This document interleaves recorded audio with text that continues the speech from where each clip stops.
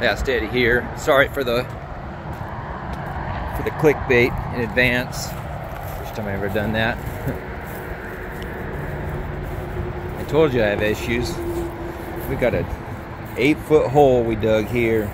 I don't want to get too close holding the camera and not looking at my feet where I'm standing. I'd fall in the damn thing. But uh, and why I dug a big hole is to bury this uh, old gas station post lift here. So, got an eight foot hole, got a little form made up to set it in the middle there. Got these uh, rec tubing here, I think it's two by four, holding it, suspending it over the hole. So, we'll make a little concrete form there in the bottom of it, fill around, back around this thing with probably most of that dirt there. Um, I'll get a I'll get a good amount of uh, get you a good shot here of concrete in the base of it there. That spot bottom of that is about uh, two feet high.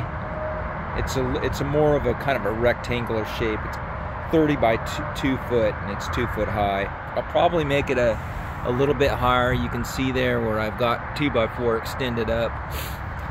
Um, after I get a base poured and get it stable, I'll get down there and I'll put some more plywood on it and, and uh, form it up a little bit higher. So but, uh, that's what I'm doing right now.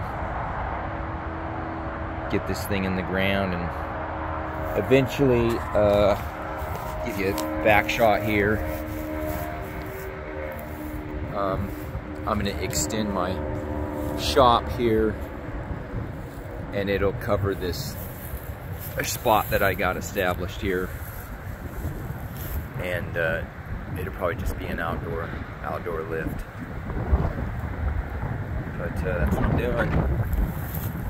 Anyways uh, just give you a little update. You can see some parts of some uh, bedsides there it's going to be to uh, build the bedsides from a ramp truck. You'll see what I'm doing when I'm starting it, but uh, just a little update. You guys have a good one.